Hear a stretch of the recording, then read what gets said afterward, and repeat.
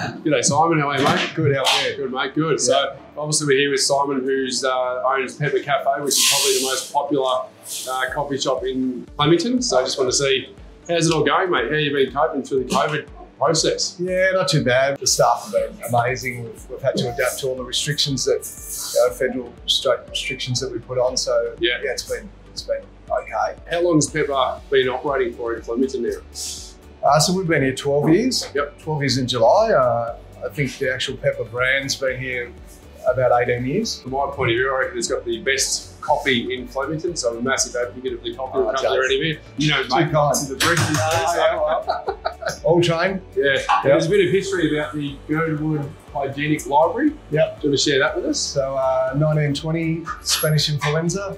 Okay. This is uh, Oh, really? Quite a dates back- topic at the moment about the Spanish influenza. Very true, and, and this dates back to then. It used to be a library, and and uh, people could come in here, and the books were sprayed clean of, of the influenza, supposedly. Wow, interesting. I Yeah. didn't know that. We've got a lot of things we talk about with the Flemington community. We talk about our auctions, obviously you and I are both part of the Flemington Traders. Yeah. What do you love about the community itself?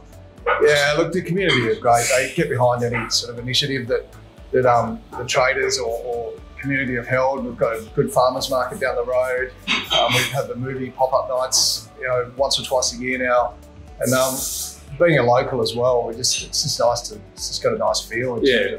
really close knit community, isn't it? Like with COVID, 2020 has been a very challenging year for a lot of businesses. Yeah. How have you sort of coped with it and adapted to obviously the restrictions we've got?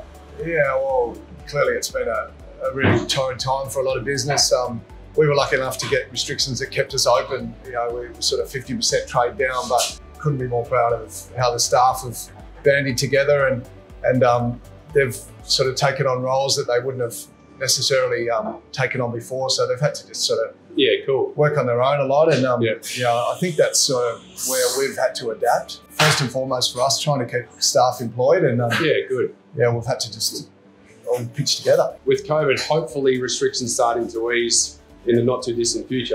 Yeah. How does that look like for you moving forward?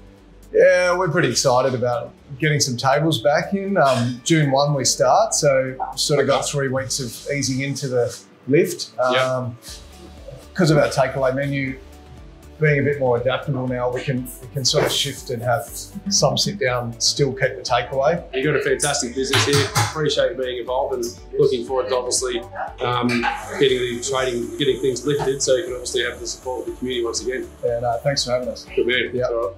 Cheers.